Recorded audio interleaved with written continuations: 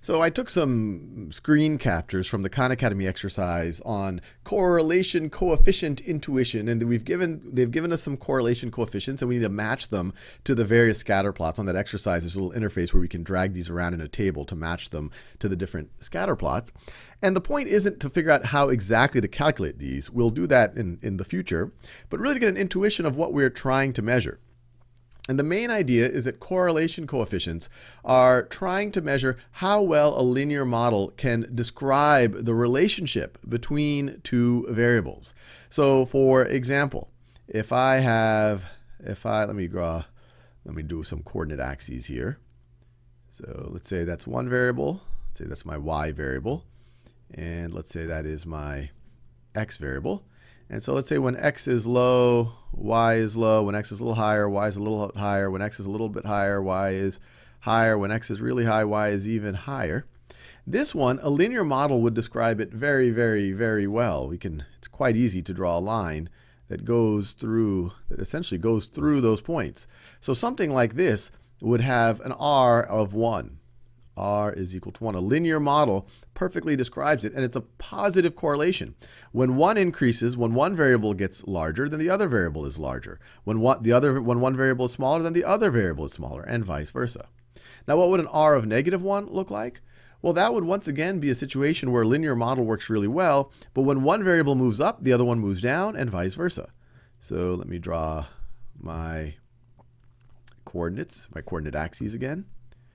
So I'm going to try to draw a data set where the r would be negative 1. So maybe when y is high, x is very low. When y becomes lower, x becomes higher. When y becomes a good bit lower, x becomes a good bit higher. So once again, when y when y decreases, y in, x increases, or as x increases, y decreases. So they're moving in opposite directions. But you can fit a line very easily to this. So the line would look something like would look something like this.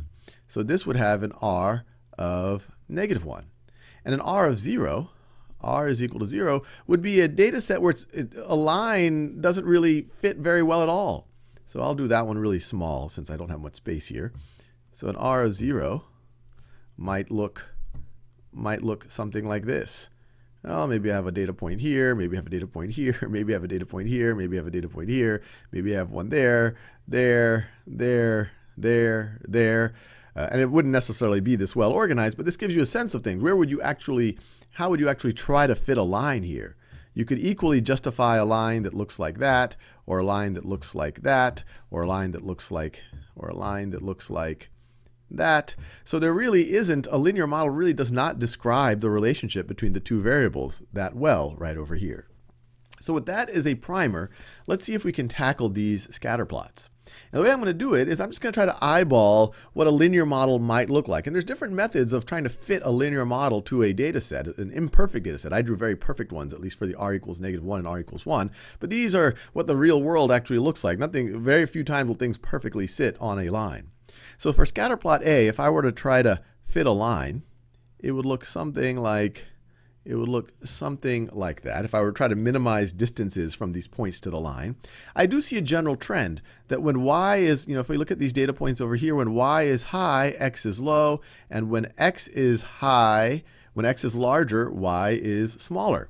So it looks like r is going to be less than 0 and a reasonable bit less than 0. It's going to approach this thing here. And if we look at our choices, so it wouldn't be r equals 0.65. These are positive, so I wouldn't use that one or that one. And this one is almost no correlation. r equals negative 0.02. This is pretty close to 0. So I feel good with r is equal to negative 0.72 r is equal to negative 0.72. Now I want to be clear, if I didn't have these choices here, I wouldn't just be able to say, just looking at these data points without being able to do a calculation that r is equal to negative 0.72. I'm just basing it on the intuition that it is a negative correlation. It seems pretty strong. You know, the, the pattern kind of jumps out at you that when y is large, y x is small. When x is large, y is small. And so I like something that's approaching r equals negative 1. So I've used this one up already. Now scatterplot B, if I were to just try to eyeball it, once again, this is going to be imperfect, but the trend, if I were to try to fit a line, it looks something like that. So it looks like a line fits in reasonably well. There's some points that would still be hard to fit. and They're still pretty far from the line. And it looks like it's a positive correlation. When x is small, uh, when y is small, x is relatively small and vice versa. And when x, as x grows, y grows, and when y grows, x grows. So this one's going to be positive and it looks like it would be reasonably positive, and I have two choices here. So I don't know which of these it's going to be. So it's either going to be r is equal to 0.65 or r is equal to 0.84. Let's look at scatter plot C. Now this one's all over the place. It kind of looks like what we did over here. You know, I could, you know, I, what, what does a line look like? You could almost imagine anything. Does it look like that? Does it look like that? Does a line look like that? These things really aren't, don't seem to, there's not a direction that you could say, well, as X increases, maybe Y increases or decreases. There's no rhyme or reason here. So this looks very non-correlated. And so this one is pretty close to zero. So I feel pretty good that this is the R is equal to negative 0.0 2. In fact, you know, if we tried, probably the best line that could be fit would be one with a slight negative slope. So it might look something like this. It might look something like this. And notice even when we try to fit a line, there's all sorts of points that are way off the line. So the linear model did not fit it that well. So r is equal to negative 0.02. So we use that one.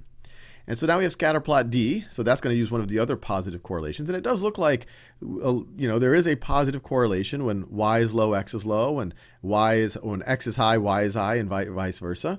And so we could try to fit something that looks something looks something like that.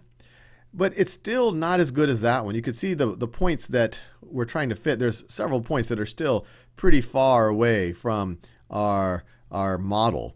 So the model is not fitting it that well. So I would say scatterplot B is a better fit. A linear model works better for scatterplot B than it works for scatterplot D. So I would give the higher R to scatterplot B and the lower R, R equals 0.65 to scatterplot D. R is equal to 0.65. 6.5. And once again, that's because with a linear model, it looks like there's a trend, but there's several data points that really, more data points do not are, are way off the line in scatterplot D than in the case of scatterplot B. There's a few that are still way off the line, but these are even more off of the line in D.